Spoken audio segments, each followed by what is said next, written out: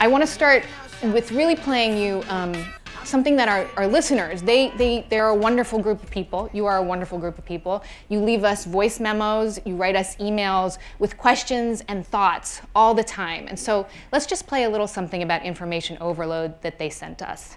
When we wake up in the morning, there's this endless loop of personal emails, text messages, voicemails, work emails, work meetings. My question is about focus and how technology is affecting it. Uh, direct messages, status updates, friend requests from Twitter, Facebook. Do we get stuck in the loop of just browsing at things that make us feel good or look nice?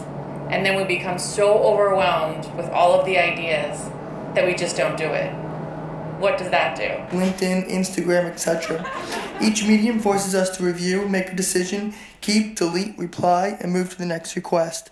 When you finally reach that one day when you feel like you've conquered managing all of your queues, the feeling is short lived when you fall behind tomorrow. Any help or suggestions or best practices? Any help or suggestions? we didn't have any yet. So we were like, well, let's see if we can find some. So after hearing all these messages that we were getting, we're like, let's let's go a little further here. So we did a survey earlier this month, and about 2,000 listeners responded. Um, and we really wanted to pinpoint how do we define information overload? What does it mean to people? And when exactly does it happen for people? Here are some of the words that turned up the most. Um, you can see FOMO's in there, up to date, social media, interesting, not wanting to miss. There's a real mix of good and bad. I think in this group of, of, words, you can see that there's sort of an ambivalence, right, about the wonders and delights of all the wonderful things in the digital world, but also this feeling of anxiety that often gets served up alongside of it. Nearly 80% of our listeners who responded said that they often continue consuming information despite feeling that they have reached information overload. They just keep going tapping, scrolling, swiping, and we ask them why they think they keep going. Here were a few of the answers. I don't want to miss something that will inspire me. I feel a need to always stay up to date so I'm not embarrassed if it comes up in conversation. I'm somehow deeply convinced that I should be able to accomplish more in a day than I would ever expect of any other person. Um, that final one really resonates with me. Um, and I think this makes sense, right? Like, who doesn't want to be inspired or come across as really smart or be their most productive self? I, I want all those things. I see you nodding. but when I describe this sensation, right, of wanting to consume more information, more articles, more pictures of couches on Pinterest, um, despite feeling, really feeling like my brain was full, consumer psychologist Dimitris Tsivrikos gave me this diagnosis. Yep, a contemporary modern digital junkie. Yeah, don't laugh too hard because there are a lot of us we see that very very often among people who live in urban areas um, in bigger cities that they are you know they're, they're sort of they're, they're starving for information. They're craving information because they feel that that level of information will actually make them better informed. They're keeping up you know with friends and family. We're keeping up because they want to be educated. In reality what a digital junkie is actually doing is overindulging information and information that's not actually being stored or, or, or sort of you know said in a meaningful way that can actually mean something and contribute to their level of you know general knowledge so more information, it doesn't always make us better informed. In fact, Dimitrios estimates, and it, the, the research is very preliminary, but between 40 to 50% of the stuff we take in just goes out the door. So I wanted to know, why do we feel this disconnect? And it turns out there are very good reasons why we feel the disconnect between what we want and what we're actually capable of consuming. And here's what neuroscientist Daniel Levitin told me, using email as an example. There's a certain number of decisions you can make before you deplete the brain's capacity for making good decisions. Uh, so, do I read this one now or later? Uh, do I reply to it? Do I forward it to someone else? Do I mark it as spam? Uh, do I need to gather more information before I can reply? That's five decisions right there, and that's one email, and you haven't even dealt with it yet. so, our brains feel maxed out and yet we tell ourselves, and society tells us, keep going. You can do it. You can watch all those great Netflix shows, right? You can stay up to date. Up to date. Just don't miss out. There's so many wonderful things. Anthropologist Genevieve Bell, she's a fascinating woman. She told me that families, communities, entire countries are in the midst of working out cultural norms about their relationship to technology.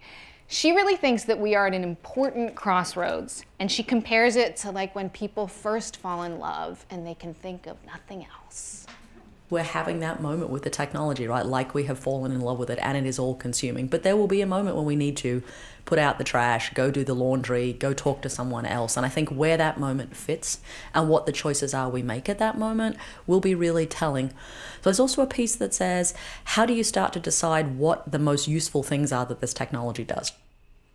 That last sentence. How do you decide what the most useful thing is that this technology does?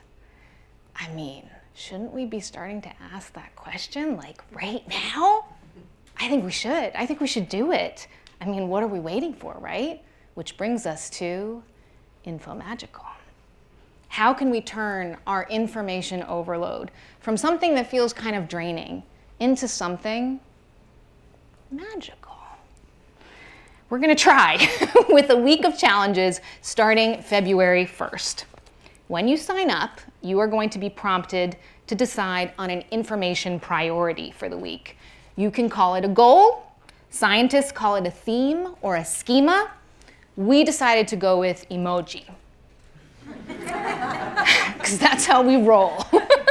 so we've identified five goals, right? So all the information you consume during challenge week, you want it to get you closer to that goal, to put it towards a purpose. So let's try it, okay? So finish this sentence. I want all the information I consume the first week of February to make me be more creative. That's mine. Anybody else more creative? I want you to know that I designed the person with the rainbow lasers coming out of their eyes. Do you, who wants to be more knowledgeable about a certain topic or skill? Like something you've really been meaning to learn about. You're like, why, why do I still speak Spanish so badly?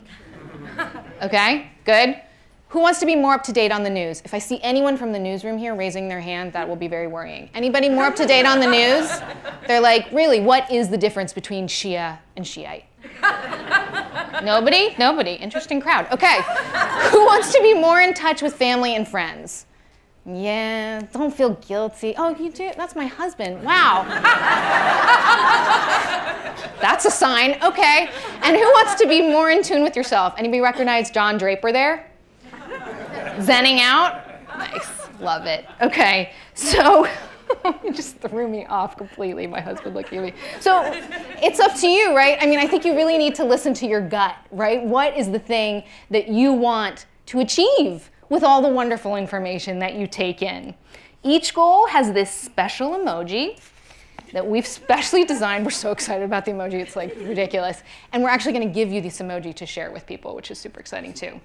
And then during Infomagical Week, every single day you're gonna get a new challenge, a behavior modification that is going to see if it can help you focus, if it can help you get a little bit more magical. Each day we're gonna tackle something different. A magical day, a magical brain, a magical phone, a magical connection, and yes, a magical life, god damn it, because we are reaching for the stars. I'm not gonna go into what exactly you're gonna do every day, not because I don't think you wouldn't sign up, but I think like in the spirit of Infomagical, that's quite enough information right now. But I really hope that you'll join us and um, sign up for Challenge Week. And in fact, we just got word that our site went live. So will you be our guinea pigs? Um, John Keefe and his team, he's chief of the head of the data news team at WNYC. They have been working so hard. All of them are here to help you figure it out. We really need you to beta test it to make sure it actually works before we launch on Monday. So um, you guys raise your hands. Let's take just a minute. Take out your phone. Just like just test to make sure it works, would you? For me. Um, I love that you guys had your phones like in your bags. This is a very like cool audience that actually listens. Just see if it works. Like if you like get it to pop up, raise your hand just so like we know it's all happening in there. John, is it working? Yeah? Oh, yes. Okay, good. It's working. So, if you're so inspired, I totally get if you're not ready to sign up yet, because this is a big deal. I'm going to continue con to convince you throughout the evening. But if you're feeling like you're in the mood, When you sign up, you can sign up either to do it via email or via text. This is really exciting. This is another thing that we've been working with John to create. If you sign up via text, you're going to be part of our data set. Every day during that first week of February, we're going to text you. Not a lot, we promise. Just a few times a day. And the idea is that we're going to be checking in with you to see how it's going so you can text us back, so cool. And we're going to be reading your texts. And we're going to really try and measure what effect does setting an information goal have on information overload.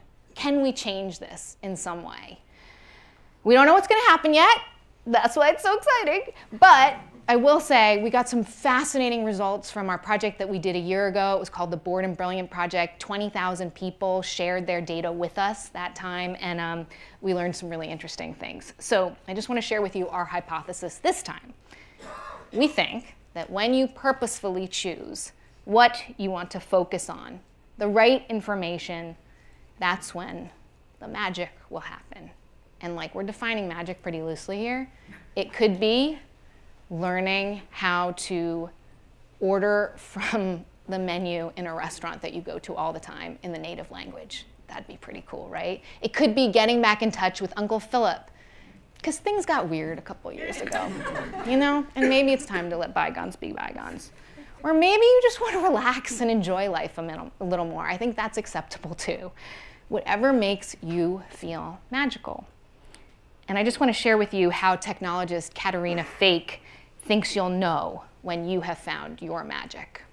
I think one of the things that you feel in an information saturated environment is that you're gradually trading off full years of your life in exchange for entertainment, trivia, and other meaningless aspects. And that when you can be conscious and aware of the magical moments, these singular moments of your life where none of those distractions are impeding your sense of yourself and who you are in your life and where you are and the people around you and the world that you live in. It's a really wonderful thing. Maybe you're thinking of a moment right now that you felt that way. It's not meaningless, it's really, truly magical.